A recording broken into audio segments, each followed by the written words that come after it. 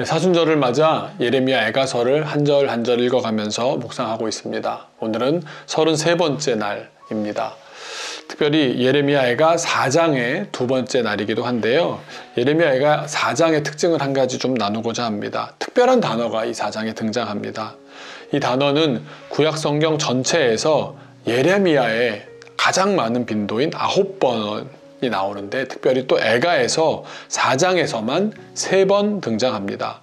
그 단어가 다름 아닌 딸 내 백성입니다. 딸인 나의 백성. 4장을 묵상하다가 일어나고 보인다면 잠시 멈추어서 그 부분도 깊이 생각해 보시면 참 좋겠습니다. 오늘도 등장하는데요. 묵상할 때 도움이 되시길 바랍니다. 오늘 33일차 예레미야에 가서 4장 3절에서 6절을 제가 먼저 읽겠습니다.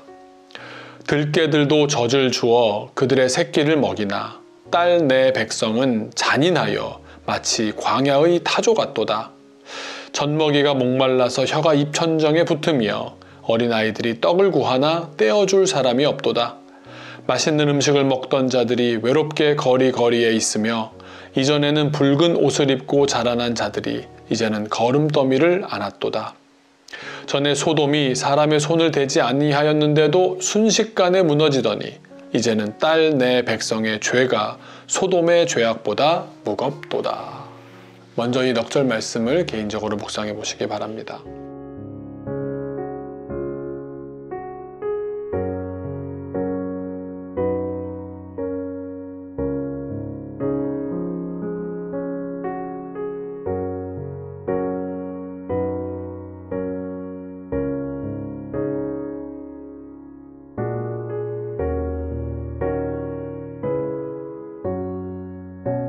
영원히 하나님의 은혜를 입으며 살 것 같았던 이스라엘은 자신들의 행동으로 말미암아 하나님이 주신 은혜를 저버렸습니다. 그 결과로 그들이 겪는 상황이 3절과 4절에 또다시 표현되고 있습니다. 3절에서는 들깨와 광야의 타조를 통해 비유적으로 그들의 상황을 표현합니다. 구약 성경에서 들깨는 혐오스러운 동물이었으며 하나님의 심판의 상징이기도 했습니다. 좋은 이미지가 없는 그 들깨마저도 자신들의 새끼는 먹입니다. 이는 동물들의 세계에서 자연스러운 현상일 것입니다. 그런데 광야의 타조를 통해 들깨와 대조된 모습을 설명하고 광야의 타조와 같은 존재가 딸 내 백성, 즉 이스라엘이다 말씀합니다. 광야의 타조는 욥기에 등장하는데 알을 버리는 존재입니다. 그러니까 자기 새끼들을 버리는 존재라는 말입니다. 시인은 지금 이스라엘이 그와 같다, 그 지경이 되었다 고백합니다. 4절에서는 그 상황을 더 구체적으로 설명합니다. 4절은 문자 그대로 아이들에게 먹을 것을 주지 않는 잔인한 부모와 어른을 의미하기도 합니다. 먹을 것을 주지 못하는 것일 수도 있고 주지 않을 수도 있겠습니다. 먹을 것이 있어도 일단 자기가 먼저 먹고 살아보자는 매정한 어른이기도 합니다. 하지만 아이에게 주고 싶어도 줄 수 있는 음식이 없는 처절한 상황일 수도 있습니다. 더 나아가 문자적 의미를 넘어 떡은 영의 양식일 수도 있습니다.